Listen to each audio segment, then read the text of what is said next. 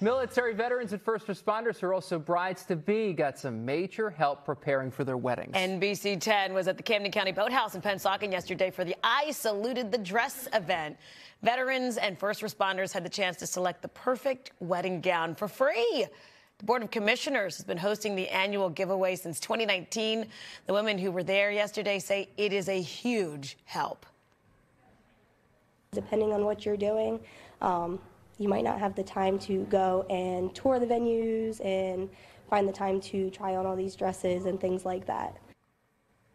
All for free. And get this the gowns and accessories Incredible. come from a local retailer that closed the, their business a few years ago with the condition that everything be donated to military oh service members. How awesome. How awesome is that? Dresses can be so expensive. Oh, listen. The whole, look, listen, you guys just went I through it. This.